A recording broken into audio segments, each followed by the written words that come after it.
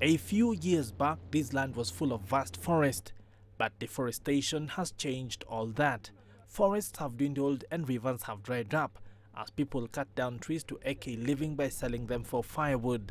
The two main threats to the land here are unplanned expansion of farms, so that slash and burn agriculture. When you cut down the trees here and you um, you take away the shrubs and you take away the grasses, then the topsoils blow away in the wind and they wash away in the in the rains, and you end up with a subsoil which has no carbon. If you have no carbon in the soils, then you have nothing for nutrients to fix to, so you end up with a dead environment. However, after decades of the menace, a local project has found a way to preserve what's left of the forests.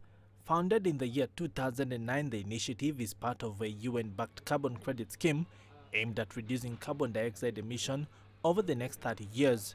The project has breathed new life into different dryland forests. Leading buyers of the credits include Microsoft, Barclays Bank, and Kenya Airways. They have invested up to $3.5 million each since the project began.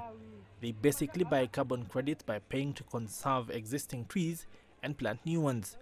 The forests soak in carbon from the atmosphere, helping to reduce carbon dioxide levels in the air and so offset what the companies release themselves.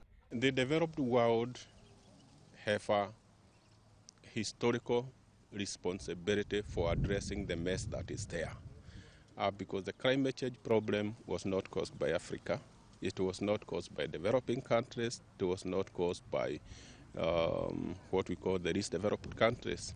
It is the developed countries that are responsible for the mess.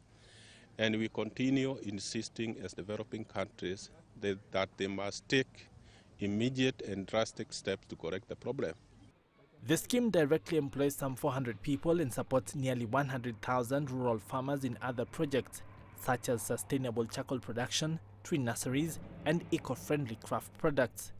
In a region where many people live on just a dollar a day, the project has had a major impact bringing in an average of some $270 per person per year. Peter Akaba, CCTV.